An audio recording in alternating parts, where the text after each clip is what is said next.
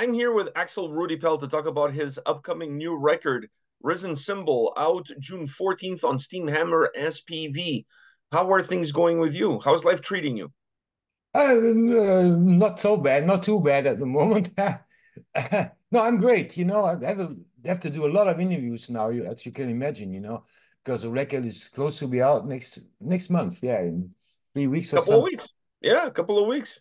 Couple of weeks, and then it's out, and uh, it will be number one in every country in the world. That's what. That's what we can all hope for. I, I'm I'm I'm hoping that for you. I'm wishing you all the best with this release, and and let's start with that. Uh, how long have you been working on this album? Um, two weeks. no, you mean in the studio or you mean right Yeah, yeah. Like overall, like like when, when did the the the process, the creative process, started for you putting the these songs together? You know, recently, uh, you know, normally I'm, when I'm out of the studio, just closing the door, going back home with all my gear, my, packing up my guitars, uh, going back home, whatever. Then I pick up the guitar after a couple of days, relaxing, and suddenly I play a little just for for practicing a bit. You know, suddenly a riff comes to my mind, and I always have I always have a cell phone with me. With a cell phone, there's a voice recorder in there, and I record everything when the riff is great, just to have it. You know, just ten minutes later the telephone rings and it's out of my mind. So just to have it there, and then I later I never uh, listen back to all these kind little bits of pieces, pieces and snippets. You know, sometimes I'm at the grocery store buying some meat and when a melody comes to my mind, I put on my cell phone and I sum it into the to the voice recorder. People think this guy is nuts, you know, but I don't give a shit. I don't care, you know. So I'm collecting these little bits and pieces over a period of several months. And then I sit down and make a big sheet of paper. I say, okay, idea number three fits perfectly to idea number 38, whatever. And I put these songs together. And that takes me six, seven, or eight weeks. And then I'm doing demos and where I record every song I wrote and with all guitars, with bass, uh, with little keyboards, uh, just two finger keyboards, you know, just to get the idea going, and put my own vocals on it. I write the melody lines, and then I write, uh, then I play everything, and I uh, write the lyrics for it. So, so that it's a progress between seven, seven or eight weeks. Then everything's done, and then I go to the studio with my demos, and uh, my engineer he all puts it into the Pro Tools system, into the Mac and then I start, uh, Bobby's coming over. Bobby's living in New York. You know, he's coming over.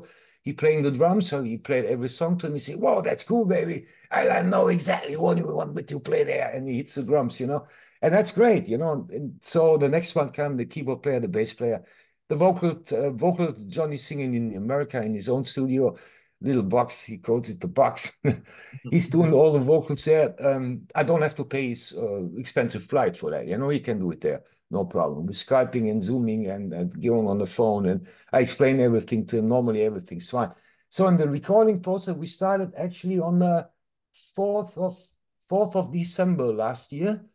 Uh, okay. we we recorded everything till Christmas, till I think till second twenty second of uh, December. Then we took a break over Christmas and New Year's Eve, and we're starting the mixing process. Uh, process I think it was sixth or seventh of January for 12 days. And then everything was done, the mastering afterwards. And then I delivered everything to the record company. And they are very satisfied. As they should be after all that hard work. So Thank so you. let me ask you this. When it when it comes to the music that you've created, there is you've been doing this for a very long time. So with this longevity and this career and the, this discography, there's a certain level of expectations that fans will have from a from an album that you release do those expectations uh, weigh on your shoulders? Do you think about what people expect from you even before you start putting a record together? No, I don't give a shit to be honest. you know, I write songs, and when I personally think, "Wow, this is a cool idea," I like it by myself. Then probably I think about it. Oh, maybe the people will like it too. You know, sometimes it have it never happened that I suddenly I wrote a jazz riff or or whatever, you know, or free jazz or what I don't know. So it's not coming from the heart then. When I change the style of myself, then I would be untrue to myself and to the audience. So I'm always, you know, I'm glad that I found the ARP style, you know, it's typical riffing, whatever. But this time, uh, you know, the difference between this album, the new album, Risen Symbol, and the former ones is definitely that, uh, you know, normally I write a song about a riff, uh, there's a verse, a chorus, uh, whatever, a solo, and then a riff again. And now I, I, I said to myself, maybe I can can include another riff which has nothing to do with one, one with the other riff, you know. So I created, for example, I think uh, in a couple of tracks we have three, four, five different guitar rhythm tracks on that, and that makes it very interesting, in my opinion. So I don't know, yeah. It, did this change did this idea of changing the that adding those riffs into a single song did that change the way you approach the recording and the composition of the song as well? Yeah definitely yes. I'm sitting i'm doing everything at home you know? But what what happened was uh, in the song Ankhaya you know this is very very uh, led zeppelin influence as you probably might hear a little bit of rainbow stargazer in it whatever. Uh, when when i wrote it I, I went to the studio and then i said to to bobby the drummer he played to it I said, I think we definitely need another part in the middle, an orchestra part. He looked at me Are you kidding? I said, No, no, no, I'm serious. And and I had in mind, I once uh, I watched this uh, DVD by Jimmy Page and Robert Plant called Unledded. I think it was recorded in 95, 96. I, I'm not sure about the year. And they did a, a, a version of Kashmir, of their great song Kashmir, with an Egyptian orchestra. And I said, have to find it. And we watched it on YouTube in the studio. I said, you know what I mean? I need that. Not the same, but in the in the same vein, you know. And he said, Yeah, I know what you mean. That sounds interesting. Yeah, let's do it. And he played the percussion with the fingers and stuff. And later my keyboard player plays all the different instruments, and the melody, of course, was in my head. So that was great, but that was only one uh one excuse. Yeah. Now, when you look back at all that hard work, all of that process. Is, is there a part uh, of putting a record together that that you enjoy the most, and there's is there a part that you enjoy the least? Maybe the interviews you enjoy the least. you know, I have to do it. It's part of the job, and you you're a nice guy. You know, I you know you did so much for us. You know, you, you wrote this great. You you uh, what did you? What's in the review and the view review? Yeah, yeah, I loved it. That was amazing. You know, and um, you know, I don't like I don't like to, to do interviews. No, I'm, I'm doing it because it's fun for me. It, it takes me away from the music a bit. I can talk about music, but I don't have to be creative at the time. You know, that that's cool. So uh, the, the most part I like is when I when the song comes together. When I got these little bits and snippets and bits and pieces, whatever, and I put it together, I say, "Whoa, this is great," you know. And then the excitement comes. You know, the, the fire inside myself, the flame is still burning. As long as it's burning, I will do it for the rest of my life. Yeah, yeah. Hopefully. I, I, I can I can feel that for you writing album 20 or writing album one or writing album 50 is going to have the same level of excitement and it's going to have the same level of energy because you're you're hyped about always making new music regardless right. of where you are in your career absolutely right. I totally agree 100% you you have that fire in you. I i can tell just the way you talk about music you're very enthusiastic talking about the way you yes, create yes. music and it's not like you're doing it just like ah you know it's my job i gotta do it. No no you, no, no. you really love it. I fucking love it. You know I, I can't do no i can't do anything better than this you know because this is this is, comes from my heart and my soul you know.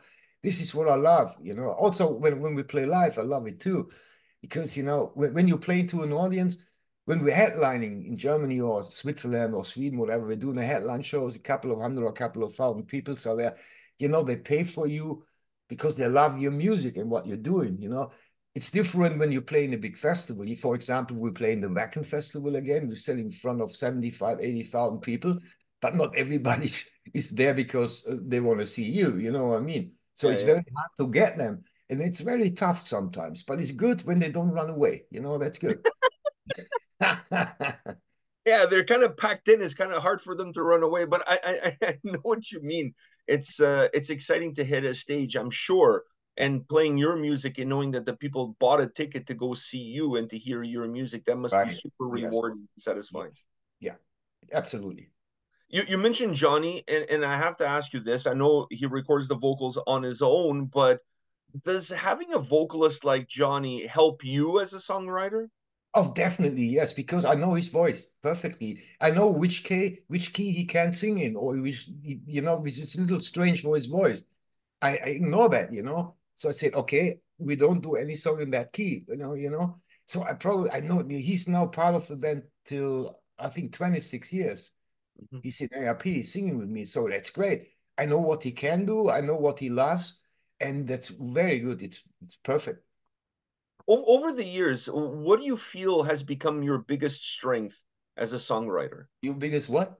Your biggest strength as a songwriter? Oh, I don't know. I don't have a clue. You know, I, I really don't know because you know, I, you know, it's very tough to to put all these bits and pieces together to form a really good song out of it.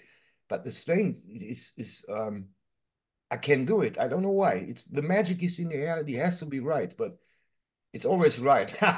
it, it's it's in your blood. It's in your blood. You just it, right. it becomes almost second nature. Now yeah. I want to go back to that idea of adding multiple different riffs in a in a single song. At any point in time, did you're like, oh man, this riff is so good that it kind of deserves his own song? Did you ever think like that at all? Uh, no, you know, no, no. I'm I'm I'm checking this out before when I listen to the bits, and snippets and stuff. I say, whoa, this is this riff. This is so good it's the main riff of a song. But sometimes I have a riff say that could be an in-between lick or in-between riff. So I'm sorting it out before. Yeah.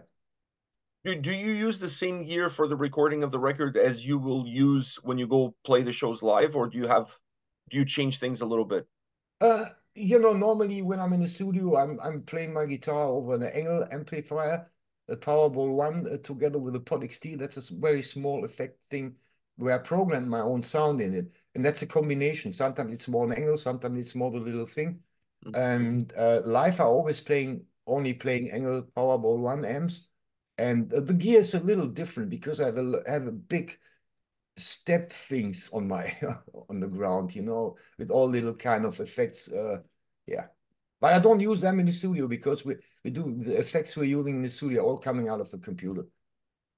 Now, when you when it comes to the apart, apart from the Wah-wah pedal, of course, yeah uh, when when it comes to the uh, singles that you guys released so far for this album, are, are those your favorite songs, or or is there any other track that stands out that wasn't a single, but in your opinion, uh, it, it has an important place for you? I'm sure all of them do, but something that yes. stands out. Yeah, no, you know, uh, the, mainly the, the singles were, were um, selected by the record company because you, you know, they choose Guardian Angel as the first track because it's the most commercial one. It's a typical ARP style, which is not rep represented representative for the whole record, but they love it, and I love it too. You know, I said, okay, that's a good idea. The second one is um, Guardian Angel. No, fuck, um, Darkest Darkest Hour, which is great too. I love it too. But you know, all the tracks, you know, they're all my little babies. When I pick one out, the others cry. So I can't pick one out. That's why the label is doing it for you. That's right. Yes. That's what yeah. That, that way you can look back at the songs and say, hey, I, I didn't pick you. They did it. So don't... That's right. That's right. The, the others are crying. I know Ankhaya is crying. Oh, why, did you, why didn't you choose me, baby? Master, please. Long, baby. You're too long. yeah, because I'm I'm sure for you putting a record together, all the the love, all the hard work that goes into making these songs, it, it's going to be really difficult to choose, right? You know, one or two or three or four out of them because they all have a that special place for you. Is it even more difficult these days to put a set list together? Because oh yes. with every album release you you ah. have to promote the record but fans want to hear yeah. the old stuff too. I know that. Don't ask me. You know it's so tough. It gets harder and harder because every every two years we got another album you know? You know and you are you can't do it right for everybody you know? Always when when you're ending the show and you're talking to some fans we do some pictures outside selfie whatever signing shit why didn't you play that song? That's my favorite. You say, okay, sorry. The other one saying, oh, no, that the other one. Why didn't you play that? And then sometimes they say, oh, you always play the same set list. I say, are you kidding? It's not the same set list. You know, it's different every time. But we have, of course, we have to play the the ARP main tracks, whatever, uh, which become favorite of the fans, like Masquerade Ball, Casbah combination, the medley. We have to do Rock the Nation. We have to do Fool Fool we're not, we're not doing that, you know, the people, uh, they're right when they're saying, why didn't you play that? That's one of your biggest tracks, you know, you have to play that. And they're right, so we have to play that. But the set list this time, you know, it's done already. I, I already did it for the tour in October when we're starting our headline show. Oh no, in July we're playing a few headline shows too. Uh, you know, I made a set list. I sent it to the band members, and they say, "Yeah, that's cool, but what about that song? What about this song? What about that? He said, okay, we can play everything. We're on stage four hours. you know, I don't have to sing four hours in a row. You have to do it, Johnny. we, we, made an agreement. I put some uh, um, recommendations from there that I put in the set list, and they're fine with it. And they said, and Johnny said, it's the best set list we ever had. So I'm proud of it. I hope it works live. Yeah. Oh wow, wow! That that is. Uh, I, I like your answer. You know, you just have to play guitar. There, he's the one that has to sing. So, man, we can put as many songs as you want. That's right. Exactly. You know, he's he's crying after one and a half three hours he's singing, you know. Uh, I think I need a rest. And I showed tomorrow, I say, we have five shows in a row. What's your problem? You want to do a three or four hour set list? No, no, no, we have to reduce it, you know, have to cut it down or whatever. It's working. Yeah, it's it's you, are never gonna please everybody, not even your band members. So it's like yeah. it's it's it's really difficult because your discography is so deep uh, and with every album that you release, obviously there's an expectation that you're going to play some of the new songs. Of so it's only going to get it's, it's only going to get more and more and more difficult. It's not going to be easier at all. I think it's just something you have to learn how to live with it. That hey, I, I can't make everybody happy. That's right, exactly. You know, now now every now and then I, I throw in a song which we haven't played live, which is an old track which we haven't played live, or only once or two times I think on the last tour we did it with uh, Voodoo Nights. We threw a track in because we never played it live before, and then we did it for for two show for for uh, two two legs of the tour. Now it's gone. Now it's a, I took a, I picked up another song which was a recommendation by the band members, which we haven't played live since eight years. You know, wow. it's from the Knights Call record. They say, "Wow, this is great. You have to do it again." I said, "Okay, no problem. We're doing that." You know, every now and then we're changing, not the main things, but uh, a lot of things keeping things fresh. Uh, yeah, you know, if, if everybody uh, of everybody that you've worked with in in the music business over the years, is there someone that you've never collaborated with that you would love to absolutely do a song, do something, do so, do something with? Unfortunately, it's still too late because he passed away. Ronnie Dio, Ronnie James Dio. You know, he was my favorite singer of all time, and he ever will be. I met him several times. You know, we supported him on the last Heaven and Hell tour in Germany, we played all the shows with, with ARP. And I talked to him several times. He was such a great guy, very nice, you know. And and I talked with him. He he he, he talked to me and he said, probably I'll do another Stars, you know, like uh, we're Stars 80, 86, I think it, the record came out. Mm -hmm. And I thought of you as, uh, of course, contributing a guitar solo in there, doing another video shoot and stuff. Well, I said, Ronnie, that would be nice, you know. But it never happened because he, he I think he died nine or 10, 10 uh, months after that, you know. Okay. So that would, would have been great, but you know, yeah. That's one that's going to have to wait for the afterlife. Oh yeah, yeah, yeah, yeah. We, every yeah, we meet in heaven. Yeah. Yeah, and then you can. Or now, don't know. Man, or somewhere in Never between. know. somewhere in between. Yeah. Never know, but I'm sure they have a record studio somewhere in there, and you guys can jam out that song. I think so. Yeah, hopefully. Yeah. I, I know uh, Ritchie Blackmore is a huge influence uh, on you. Uh, yeah. Do you remember the first time that you heard him play, and and and what was about his playing style that influenced you so much? Oh, uh, you know, I can't tell exactly which song it was, but it was at the beginning of the 1970s. I watched TV. You know, normally I, I was like into very kind of in Germany we call it Schlager Schlagermusik. It's like a very light pop music, whatever. And then I saw Deep Purple perform on TV, and I saw Blackmore with a Fender Strat. I also, I know, I, I knew that Jimi Hendrix played the Fender Stratocaster too, and I loved Hendrix a bit, you know, at that time.